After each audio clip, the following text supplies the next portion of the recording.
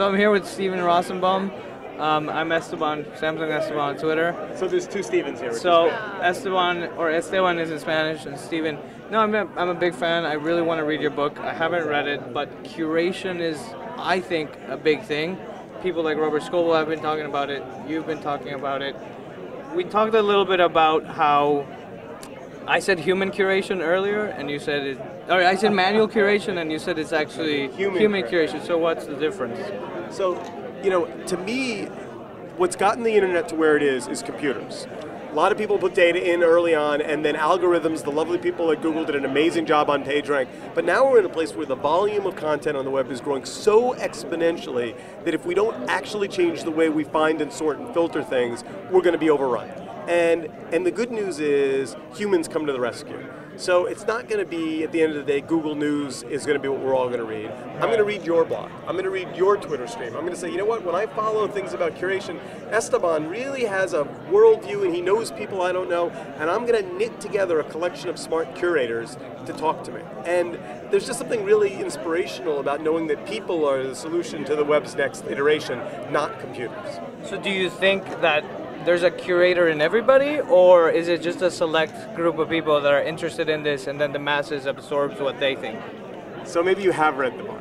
So, so I talk about what I call the accidental curator, Okay. and what I mean by that is, you know, you may be a passionate foodie. Where do you where do you live?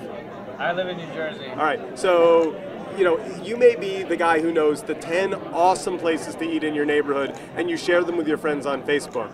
And you don't think of yourself as a curator. You're not like waking up in the morning going, I need to publish today. But at the same time, the things that you share with your friends matter to you. I mean, you don't say, hey, here's a movie I just saw that's terrible, go see it. Right? So there, I think we all have some amount of recommendation in us. We all post on Yelp or on Amazon. I do think that curation is actually a job. And in fact, you know, you know, there are people that believe it's the next billion dollar industry. I, I think that's a big number.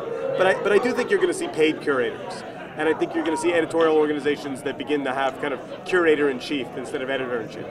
So what do you think about all these sites like Storify and Curated By, where people can go and you know the average person can use it as a way of the next step in, uh, for like example, the the Tumblrs and the Posterous of the world, the- those blogs, Twitter. Now it's curating content from everywhere and then adding my notes, my personal thinking. Do you think these sites are going to be big, or is that part of that huge number you gave earlier? I think it's too early to say. I happen to know both those pieces of software and I use them both and like them both for what they are. I think they're early.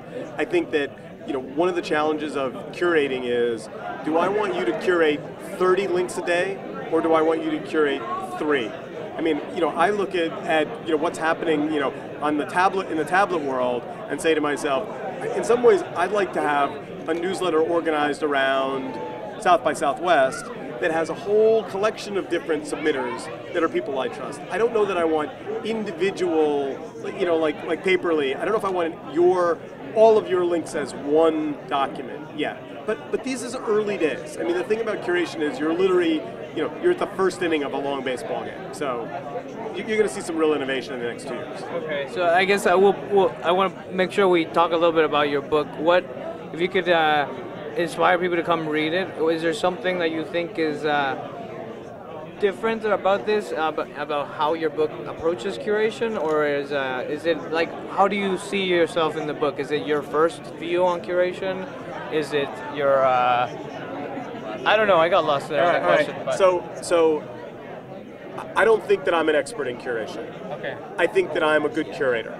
So what this book is is 70 smart people who I reached out to and said, "Tell me your story about what you do in curation." And then I knit it together using my personal story as kind of a a path. But the decision I made in writing it was, you know, everybody goes and buys business books and then sets them by the newsstand and go by the bedstand and goes, "I should read this," and then we go to sleep.